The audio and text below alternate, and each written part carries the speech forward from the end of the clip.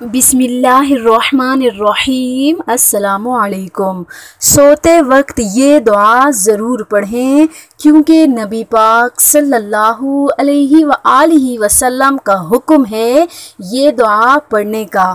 آج میں آپ کو ایسی دعا پڑھنا سکھاؤں گی جو عبداللہ بن عمر رضی اللہ تعالی عنہ نے ایک شخص کو کہا کہ سوتے وقت یہ دعا پڑھا کرے۔ تو اس شخص نے کہا، کیا یہ دعا آپ نے عمر رضی اللہ تعالی عنہ سے سنی ہے؟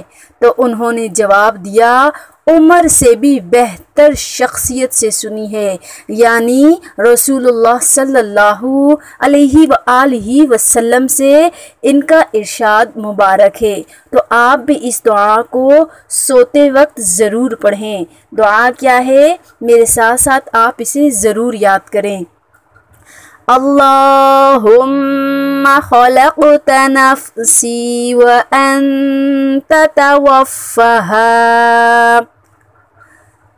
توفها لك مماتها ومحياها. إن أحييتها فاحفظها.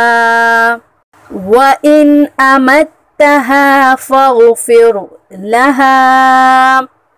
اللهم إني أسألك العافية.